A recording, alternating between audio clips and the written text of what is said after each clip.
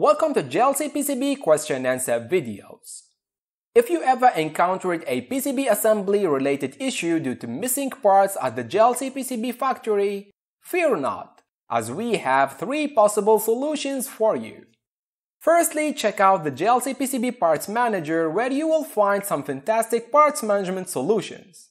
If the specific part you need is missing from the JLC PCB parts library, don't worry.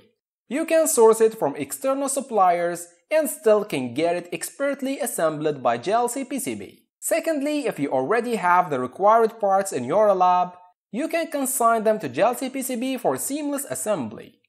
By sending the parts from your lab to JLC PCB for assembly, this option allows you to leverage your existing inventory efficiently. Lastly, if you can't find the exact part in our library, submit a request to JLC PCB, simply provide some essential details like the manufacturer part number and other relevant keywords, and we will add the parts to our ever-expanding library. We want to make sure that you have a smooth and hassle-free experience with your PCB assembly, so all the necessary links are conveniently attached to this video's description.